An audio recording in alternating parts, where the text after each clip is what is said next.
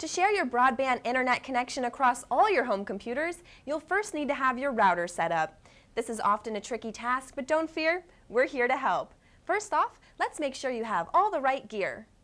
You'll need the following items. One PC that is your main computer, one modem, this is the device typically given to you by your internet service provider and is typically connected via phone cord or a coaxial cable to the wall. One Linksys router. This is what enables you to share your internet connection. And two Ethernet cables.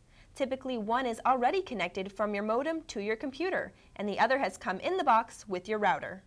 The next thing you'll need to do is unplug the power to your cable or DSL modem and make sure your router is unplugged as well. To do this, simply remove the power plug from the modem. Then pull the existing Ethernet cable out from your modem and plug it into port number 1 of the yellow Ethernet ports on the back of your router. You should leave the other end of the Ethernet cord plugged into the back of your computer. Next, take your second Ethernet cable that came with your router and plug one end into any available port on your modem.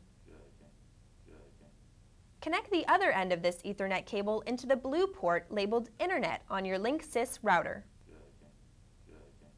Now you can reconnect the power supply to your cable or DSL modem. You should wait at least 30 seconds for the modem to start up before continuing. Now connect power to your Linksys router. Now wait 60 seconds for the router to power up.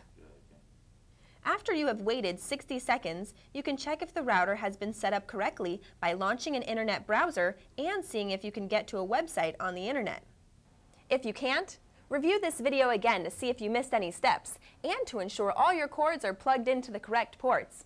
Also, another suggestion is to unplug your modem for at least 10 minutes, then try running through this video again.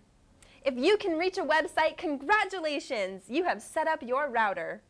Using more Ethernet cables, you can plug other computers into available ports on your router to share your broadband internet connection. Now that your router is set up, there are many things you can do, like share your printer with all of the other computers in your home, or share files between your computers. The simplest way to do all of this and more is to download Network Magic onto all your PCs. The basic version is free and available from networkmagic.com.